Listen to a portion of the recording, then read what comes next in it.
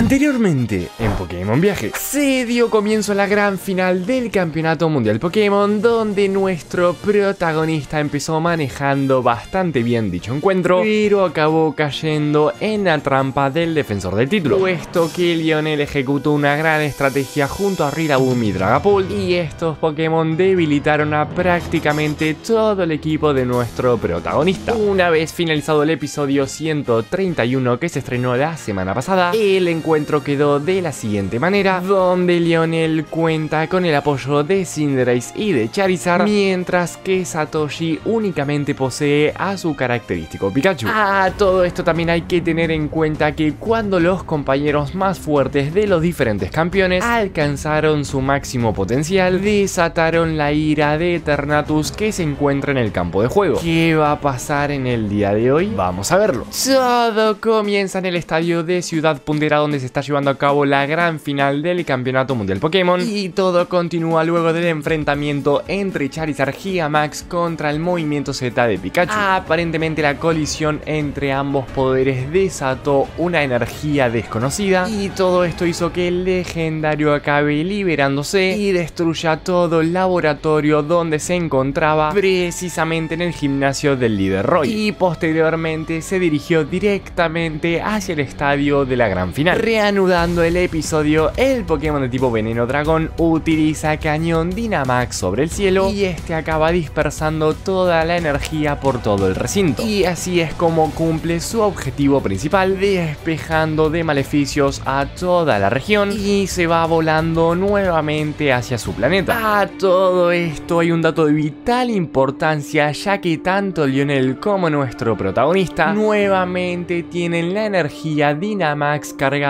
en sus respectivas bandas, por lo cual pueden volver a utilizar dicha mecánica. Es por esta razón que el defensor del título decide quitar del terreno de juego y me pongo de pie para presentar a ni más ni menos que a Cinderace Gigamax, quien se presenta con dicha forma por primera vez en todo el anime. Exactamente lo mismo sucede al otro lado del combate, donde el Pikachu de Ash adquiere la forma Gigamax. El inicial de la región de Galar utiliza Gigasfera Ignea, pero sin embargo Pikachu se defiende con Gigatronada y ambos movimientos impactan a su respectivo objetivo. Sin embargo, una vez que se dispersa el humo del estadio, ambos Pokémon quedan muy tocados, pero quien no puede resistir el poderosísimo ataque es el Pokémon de tipo fuego y Pikachu consigue la primera victoria del encuentro, dejando todo en manos de Charizard generando un gran uno contra uno. A todo esto nuestro protagonista cuenta con el apoyo de sus diferentes compañeros donde mediante diferentes localizaciones de todo el mundo Pokémon hacen acto de presencia y disfrutan de la gran final de dicho campeonato. Y efectivamente me pongo de pie para presentar el cameo más esperado ya que efectivamente tal como lo predije anteriormente Serena, May y Ariana acaban apareciendo en el episodio así que señoras y señores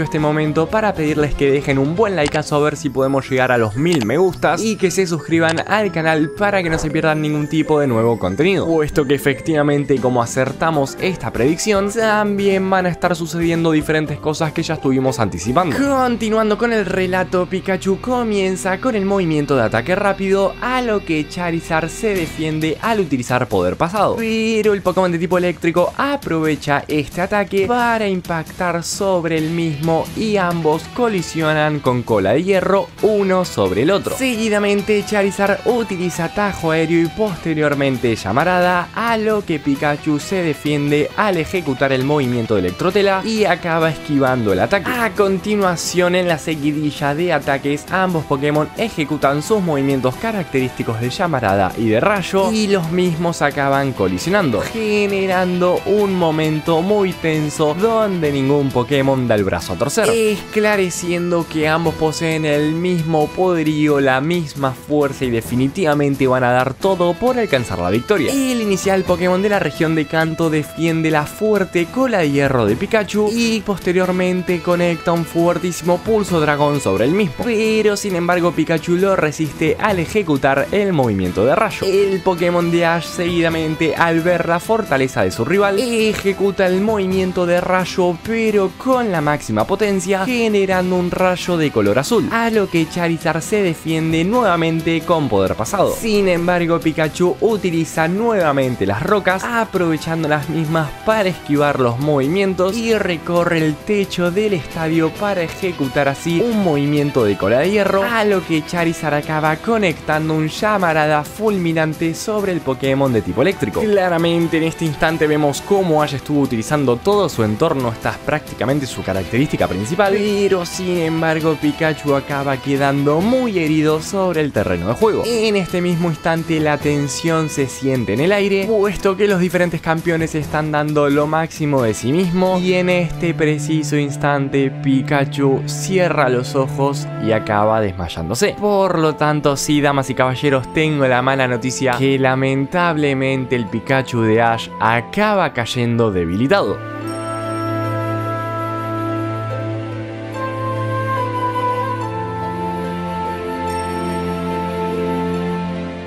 Por lo menos eso es lo que parecía porque cuando todos dimos por perdido a Pikachu, este recuerda absolutamente todos sus compañeros de anteriores temporadas, los cuales le dan la fuerza necesaria a Pikachu para que este se levante y así es como ejecuta un potente rayo sobre sí mismo. Y agárrate de tu silla señoras y señores porque se viene el momento más esperado por toda Latinoamérica Unida donde Pikachu acaba aprendiendo el movimiento de Pica Tormenta y este movimiento colisiona múltiples veces contra el llamarada del Charizard de Lionel. Finalmente esta secuencia acaba con una pantalla en blanco y segundo después Pikachu se despierta en el centro Pokémon luego de que hayan curado absolutamente todas sus heridas. Y ahí es donde nuestro protagonista Ash le acaba contando a su Pokémon qué es lo que sucedió, donde luego de enfrentarse en un combate contra el Pokémon más fuerte de Lionel, Pikachu acabó arremetiendo su fuertísimo pica tormenta atravesando el llamarada de Charizard y agárrate de tu silla y también de tu tía porque luego de más de 25 años Ash contra todo pronóstico debilita Charizard Pikachu acaba aguantando el movimiento aún manteniéndose de pie y alcanza la victoria coronándose como el campeón y como el entrenador más fuerte de todo el mundo Pokémon. Posteriormente volvió al presente, Ash y Pikachu se abrazan y festejan haber conseguido dicha victoria, posicionándose ahora sí como el número uno de todo el mundo, a lo que Lionel entra a la habitación para agradecerle a nuestro protagonista del combate que ambos ejecutaron, y asimismo también lo felicita por su consagración. Una vez que ambos regresan al recinto, Lionel le hace entrega del trofeo a nuestro queridísimo Satoshi, quien junto a todo su equipo completo levantan el trofeo, generando así la imagen más épica de la última década, confirmando el clímax de toda la historia del desarrollo de nuestro protagonista. Al otro día, Ash se levanta de su cama luego de un atareado día donde se ve relucir el trofeo. Acto seguido, el rotonphone suena y nuestro protagonista atiende esta llamada desconocida muy enérgicamente y el episodio se despide con esta imagen donde vemos justamente por detrás de Ash un cuadro bastante interesante. ¿Será algo en torno a la nueva generación? Nuestro protagonista acabará viajando a la región de Paldea y estas respuestas las veremos en el siguiente episodio. Porque por acá finaliza el capítulo 132 de Pokémon Viaje. Si quieren que les traiga el episodio 131, dejen un buen likeazo y si no quieren que lo traiga, igualmente dejen un buen like. Suscríbanse y activen la campanita para no perderse ninguna notificación y nos vemos próximamente con un nuevo video. Adiós.